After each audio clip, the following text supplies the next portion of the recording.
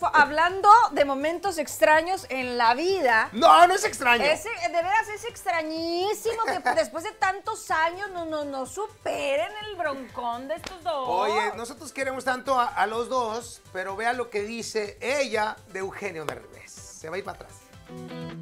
La actriz Victoria Rufo nos cuenta que le gustaría llegar a ser la próxima primera dama de la nación mexicana. Ah, yo encantada de la vida. Mira, mi función con mi marido es como la de él conmigo, apoyarnos, eh, comprender nuestras carreras, respetarnos. Y ya que se encuentra de vacaciones en Los Ángeles, le preguntamos si va a ir a ver la película de su expareja Eugenio Derbez. De a mí eso que me importa, de a mí eso que me importa.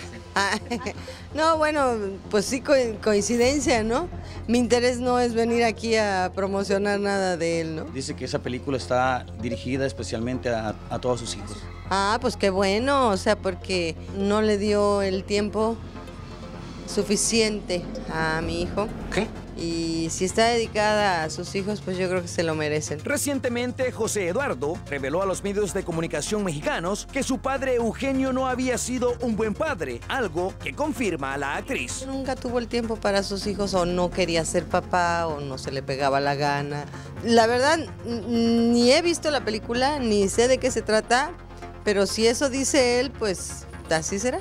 Nixon Hernández en vivo.